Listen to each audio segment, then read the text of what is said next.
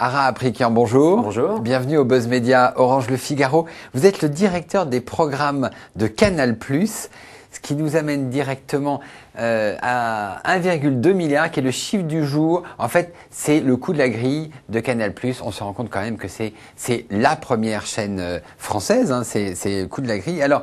Canal Plus depuis un certain temps, c'est une recette éprouvée. Hein. On met 600 millions d'euros dans le football, met 400 millions d'euros dans le cinéma. Le reste, c'est les séries originales et Leclerc. Euh, ça marche toujours, ce, ce, pilier entre sport et cinéma? Alors oui, alors oui, à l'origine, donc euh, la formule gagnante de Canal+ était euh, le sport et le cinéma. Ce qu'a développé Rodolphe Belmer avec Bertrand Meilleux depuis maintenant plusieurs années, c'est de lui d'émettre d'autres piliers éditoriaux à cette offre pour en faire une vraie généraliste payante. Donc euh, c'est ce qu'on a fait, je crois, avec succès, en créant l'événement dans le domaine euh, de l'information, avec des émissions comme Le Grand Journal, comme Dimanche Plus, dans le domaine du divertissement, de l'humour, mais également de la création originale, puisque un des genres phares de la télévision, c'est sa capacité à créer de la série, de la série originale. Et là, avec Braco, avec Carlos, avec euh, bientôt Maison Close, avec les méga métrages, c'est-à-dire notre politique vraiment très ambitieuse de développement de séries internationales, mais avec, avec 13, avec 13 et qu'on va continuer euh, et qu'on va continuer, on a développé, je crois, une vraie offre événementielle généraliste propre à affronter la concurrence euh, des nouvelles technologies euh, de demain et de l'appétence du public. Car effectivement, à chaque rentrée, vous communiquez exactement euh, sur, sur, ça. Là, l'événement de la rentrée, c'est maison close. Absolument. C'est ça. Et donc, comme, comme, pourquoi est-ce que vous, pourquoi est-ce que Canal réussit dans la série française alors que les chaînes généralistes ont eu, gratuites ont eu un peu de mal à trouver un ton?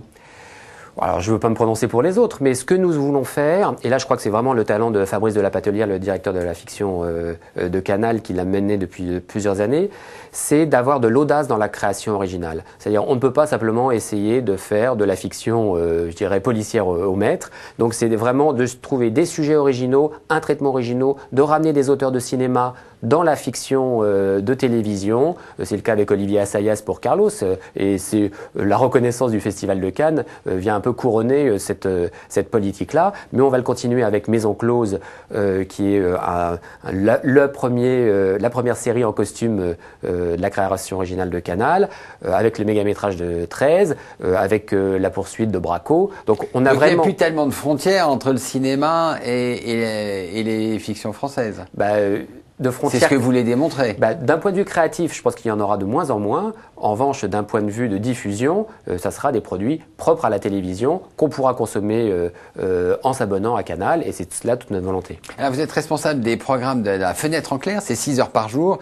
c'est la vitrine de, de, de, la chaîne avec la grande émission qui est Le Grand Journal, présenté par Michel Denisot et sa bande.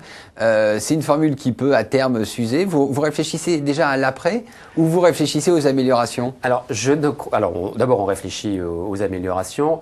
Euh, quant à la formule qui s'use, euh, je suis heureux de vous dire que c'est pas du tout le cas, parce qu'on vient de lancer la septième saison euh, hier. Les audiences nous prouvent que c'est le record historique du Grand Journal et c'est un record historique de la case depuis plus d'une dizaine d'années. Alors c'est vrai pour le Grand Journal, la première partie avec Lionel Jospin qui était l'invité de cette septième saison. Mais c'est vrai aussi pour l'édition spéciale euh, où on a euh, conjuré un petit peu le syndrome du midi de Canal, où on disait qu'on n'arriverait pas à, à, recréer une nouvelle formule.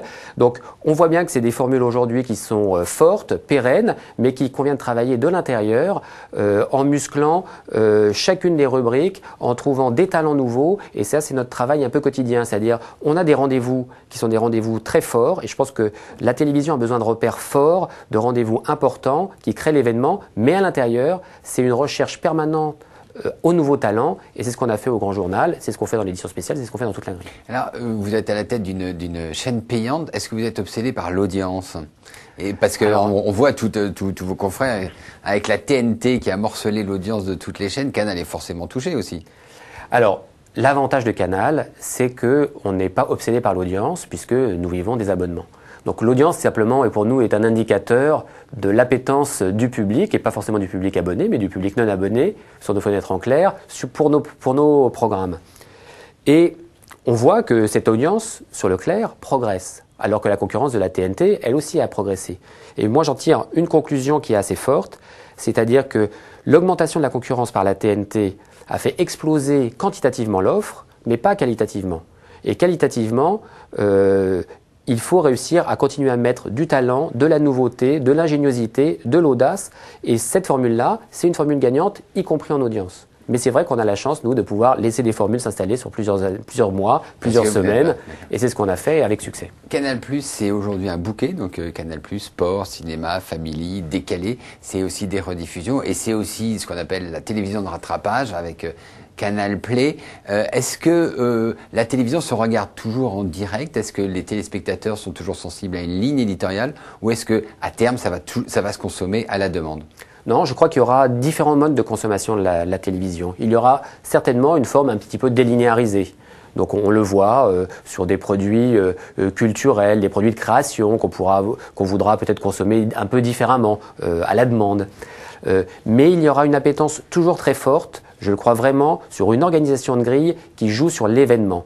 C'est-à-dire, on viendra regarder un match de football en direct parce que c'est là que ça se passe. Aucun intérêt, Sinon, ça n'a aucun intérêt. On connaît le résultat, n'a aucun Mais de la même façon, sur nos émissions en direct, on viendra regarder le grand journal au moment où ça se passe parce que c'est là où euh, on va entendre une parole nouvelle sur l'actualité euh, qui va euh, être dite. Donc je crois aux grands rendez-vous si ces grands rendez-vous sont événementiels. Et la construction de la grille qu'on a faite, notamment sur les, les quotidiennes, c'est des tranches d'informations qu'on essaie de construire événementielles.